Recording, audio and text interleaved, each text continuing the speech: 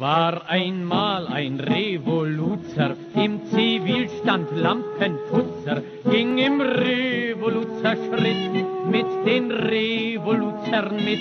Und er schrie, ich revolüze, und die Revoluzermütze schob er auf das linke Ohr, kam sich höchst gefährlich vor.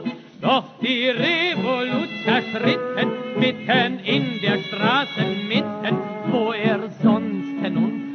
unverdrutzt alle Gaslaternen putzt.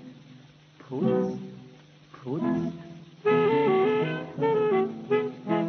Sie vom Boden zu entfernen, rupfte man die Gaslaternen aus dem Straßenpflaster aus, zwecks des Barrikadenbaus, aus dem Straßenpflaster aus, zwecks des Barrikadenbaus.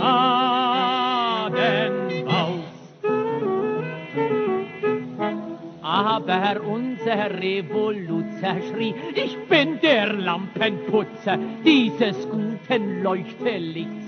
Bitte, bitte tut ihm nichts. Wenn wir ihn ins Licht ausdrehen, kann kein Bürger nichts mehr sehen.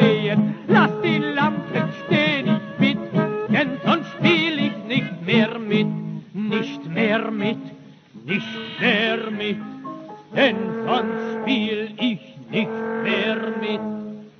Doch die Revoluzer lachten und die Gaslaternen krachten und der Lampenputzer schlich fort und weinte bitter, bitterlich.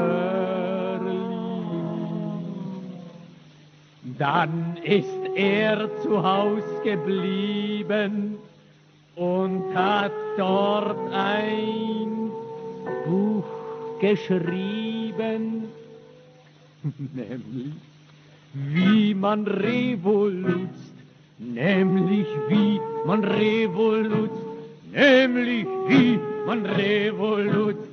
Und dabei und dabei und dabei doch Lampen tot.